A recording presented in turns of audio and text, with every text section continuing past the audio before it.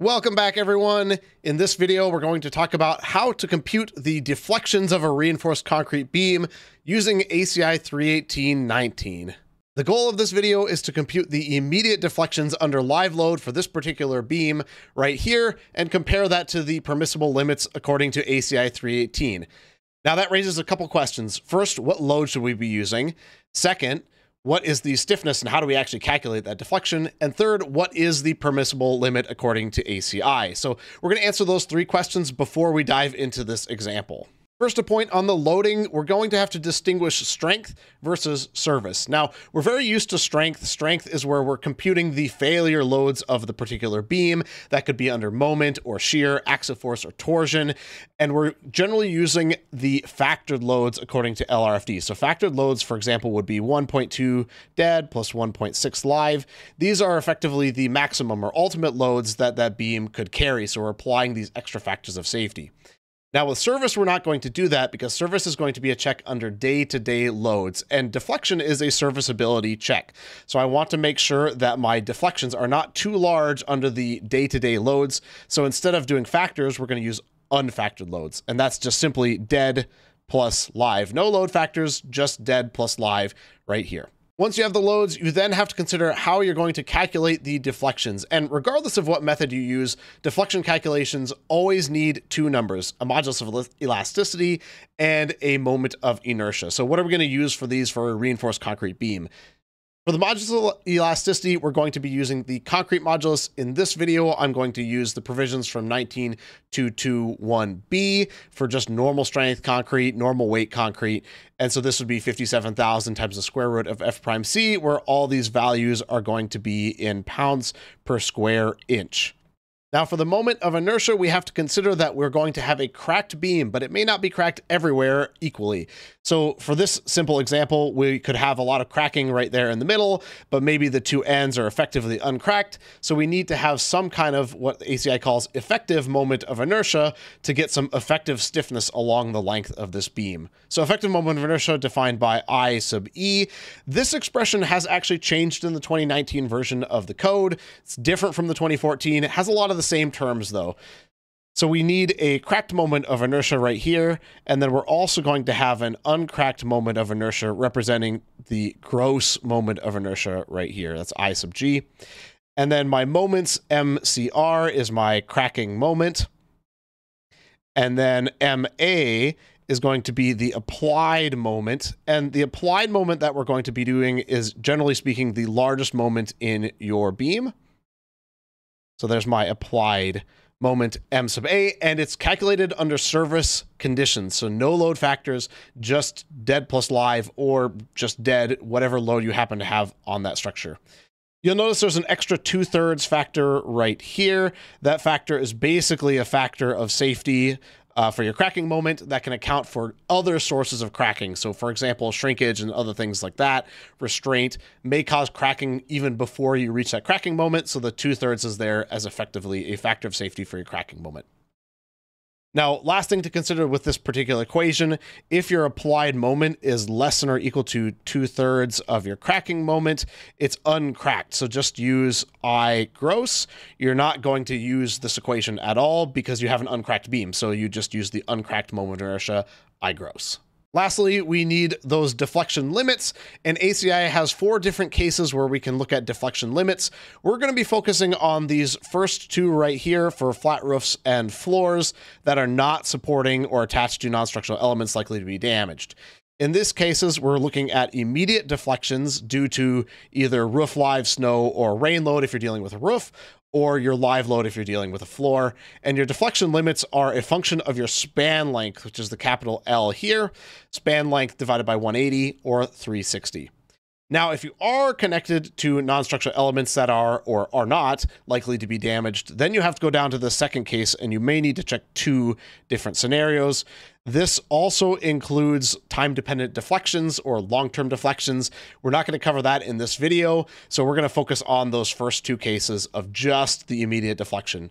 But it turns out even in this lower case here, where you have non-structural elements, you're also going to have to find that immediate deflection, just your in addition, going to have to find a long-term deflection too. So that out of the way, let's dive into the example problem. So for this particular problem, my beam is going to be a 12 inch wide by 24 inch deep section. I have some compression steel here and tension steel as well. Concrete strength is going to be 5 KSI, typical grade 60 steel and my loads are given down here. So dead load is going to be 0.3 kips per foot. That's just the self weight of this beam. I'm not going to have any other dead load on there. And then it has an additional live load of 0.9 kips per foot distributed over the whole beam. So I'm not going to pattern this live load in any way.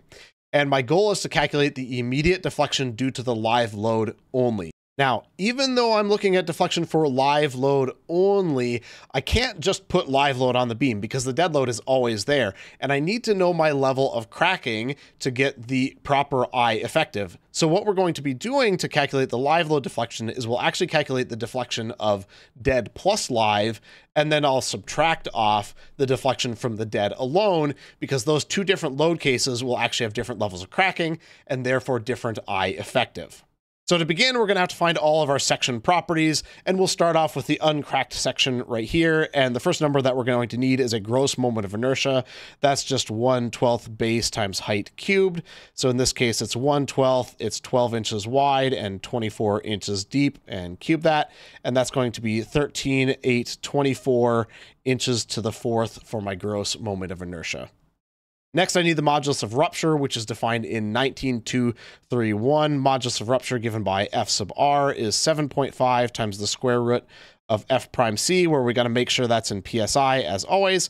And my answer is going to be in PSI 2. So this is 7.5 times the square root of 5,000 PSI, and that is 530 PSI for my modulus of rupture. Lastly, I need the cracking moment. That's MCR, and this is going to be equal to FR times the gross moment of inertia divided by the distance to get to the tension fiber of your section. So effectively, this is the distance from your centroid of your section down to the tension fiber. In this case, because it's 24 inches deep, it's just half that, so 12 inches. So this is going to be 530 PSI multiplied by I gross, which is 13.824 inches to the fourth, divided by the distance to that tension fiber, which is 12 inches.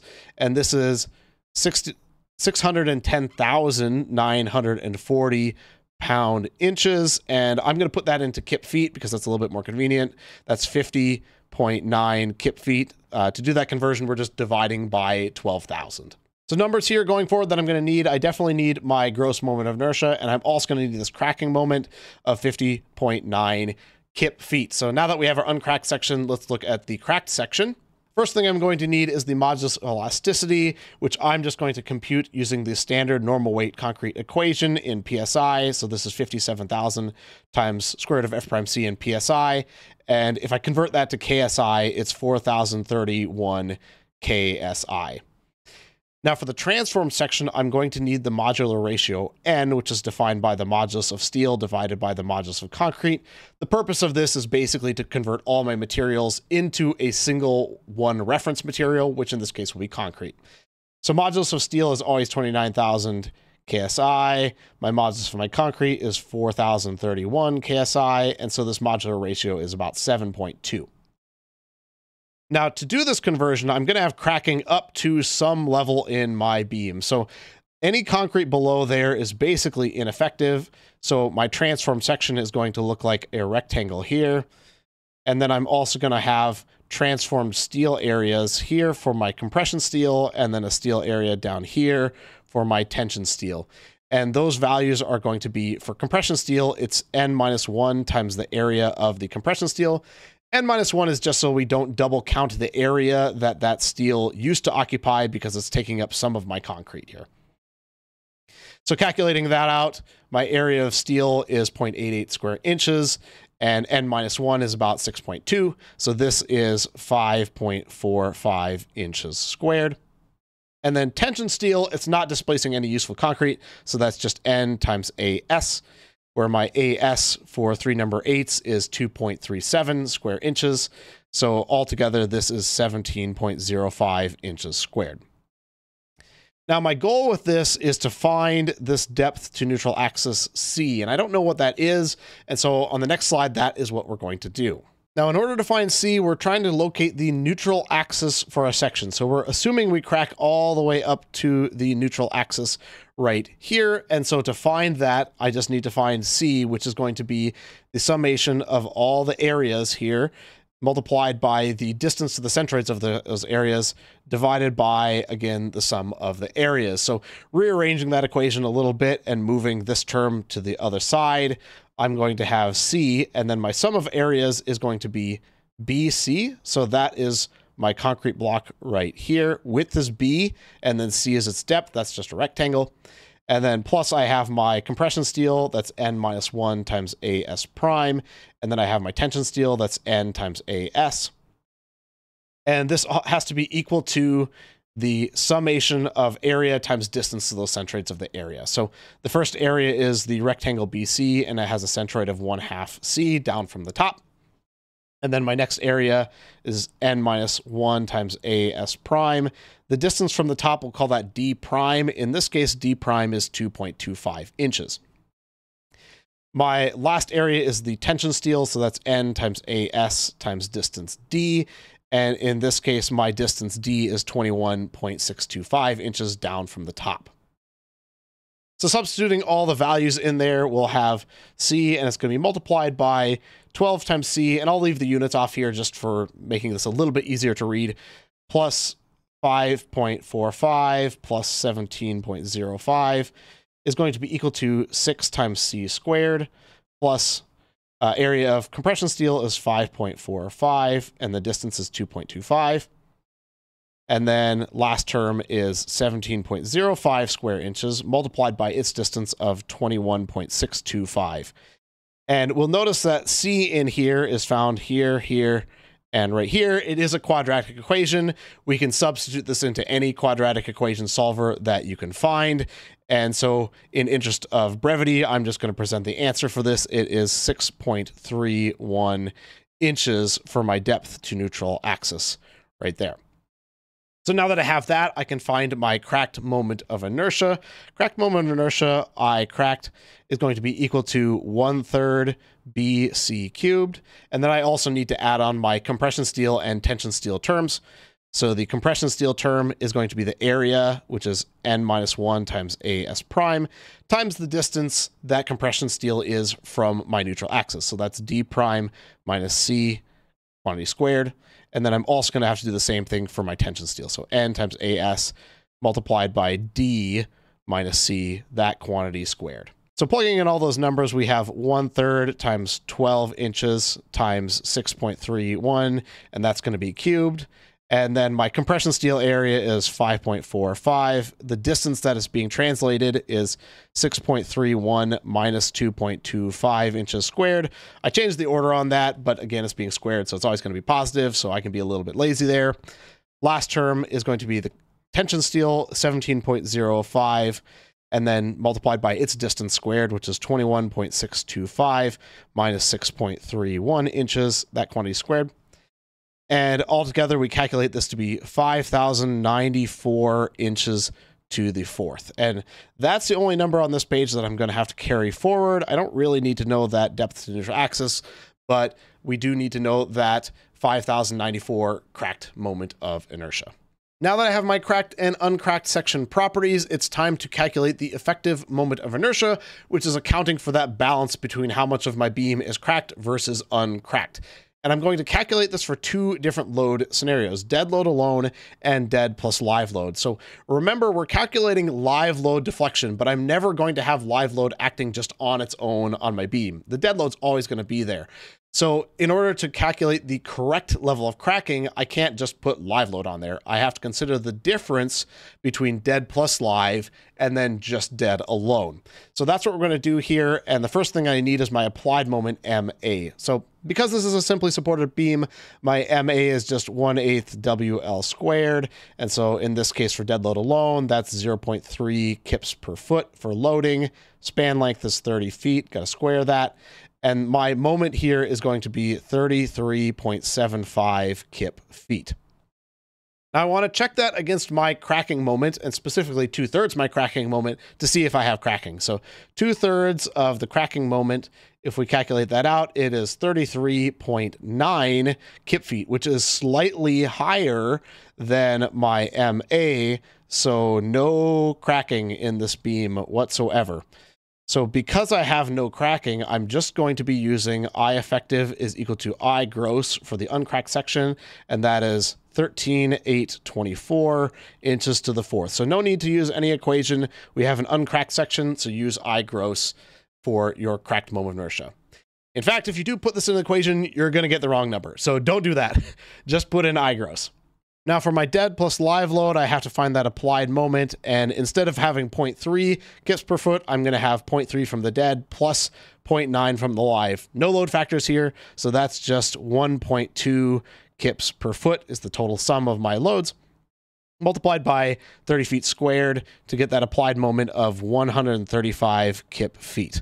Now that's obviously much greater than two thirds M crack. So we have a cracked section and therefore, because it's cracked, I need to use my equation for I effective. So I effective is going to be I crack divided by 1 minus, and there's going to be a 2 thirds M crack divided by MA. That term's got to be squared.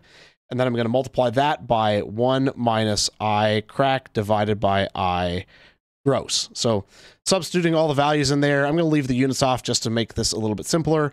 It's 5194. That is inches to the fourth, though. Divided by 1 minus 2 thirds of M crack, we just found that was 33.9 kip feet, and my applied moment was 135. Got to square that. And that's going to be multiplied by 1 minus 5094 inches to the fourth, divided by I gross, which is 13824. And if I calculate that number out, it is 5,306 inches to the fourth. So that's pretty close to I cracked, which is basically saying that this beam is pretty much all cracked, which makes sense. The moment here, 135 kip feet, is quite a bit larger than 33.9 kip feet. Now, using those I effective values, I am going to calculate my deflections. So again, this is a simply supported beam. So calculating the deflection of a simply supported beam, we can just look this up in a table of equations, which would be 5 times the applied load times length to the fourth power divided by 384 E sub C times I sub E. So E sub C is my modulus of my concrete, and then I sub E is the moment of inertia. And I'm going to do this once again separately for the dead load only case versus the dead plus live case, because I have to take that difference. So if I'm calculating my dead load displacement, we'll call that delta D. This is going to be 5 times my load is 0.3 kips per foot. I'm going to want to change everything into inches, so I'm going to multiply that by 1 foot per 12 inches, so basically dividing by 12 to make sure that I cancel out my feet units and I have kips per inch. And then the length, I'm also going to change into inches. So that's 30 feet times 12 inches per foot and take that all to the fourth power. Everything in the denominator has the right units because it's already in kips and inches, so that's ready to go. It's 384 times 4031 KSI was my modulus. And then moment of inertia I sub E for the dead load case we found was 13824 inches to the fourth because this beam is uncracked under dead load only. So plugging through those numbers, this is 0.098 inches of deflection under dead load only.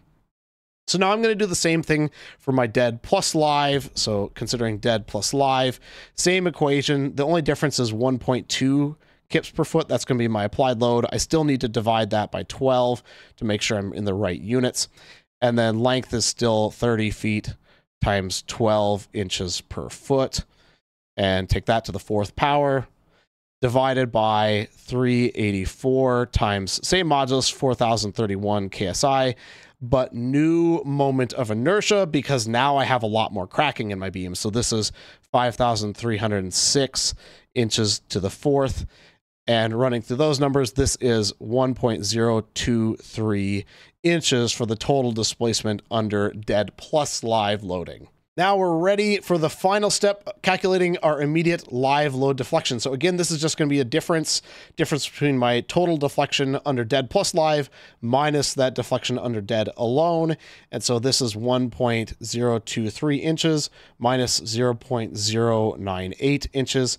And that, of course, is 0.925 inches. So that is our final immediate deflection due to live load only. Let's see if this is allowable. We assumed back in the beginning that we're looking at floors not supporting or attached to non-structural elements. So my allowable limit is going to be L over 360 for this. So L over 360 is going to be equal to 30 feet.